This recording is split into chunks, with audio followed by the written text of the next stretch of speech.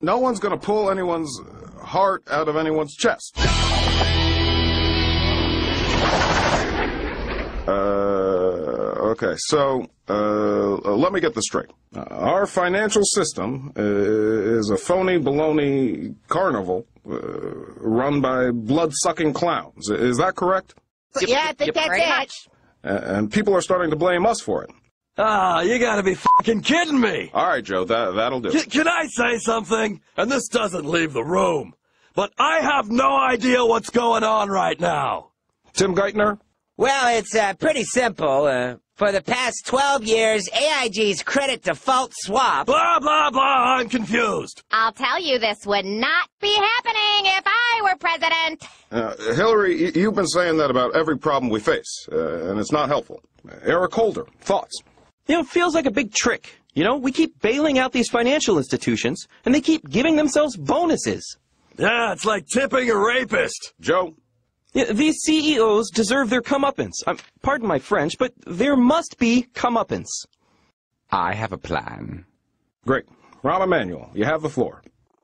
The villagers of Mayapur, India speak of five stones that were given to Sankara by the Hindu god Shiva. Legend claims that he who holds the five stones will rule the world. I have four of those stones. Nope. I'm going to cut you off right there. Hillary, any ideas? Well, if I were president, I would wave my finger and talk like this. And if that didn't work, I'd cry. They say the stone is hidden in a diamond mine run by children. Hey, now, no one's going to pull anyone's uh, heart out of anyone's chest. I- I'm looking for serious suggestions here. I got it, I got it. I have a 12 part plan that gets me out of whatever mess I'm in. Okay, ready? Step one. Oh, step two. Okay, uh, Joe, uh, that, that's definitely not productive. Hey, fear me.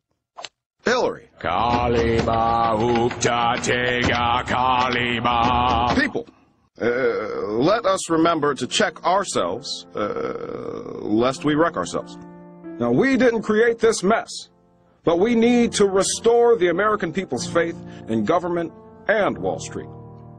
He's right. So let's just dig up Abraham Lincoln's corpse, inject him with embryonic stem cells, and see what he would do.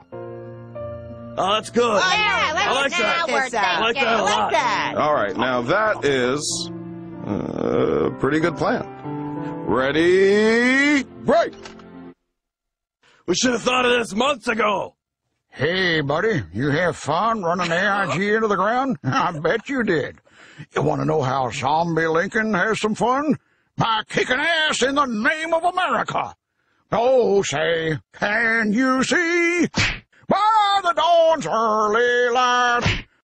Don't fuck with me. I'm on the penny. I got nothing to lose.